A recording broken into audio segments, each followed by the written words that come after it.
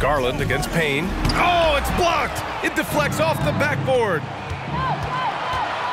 Here's Crowder, and Crowder with the jam.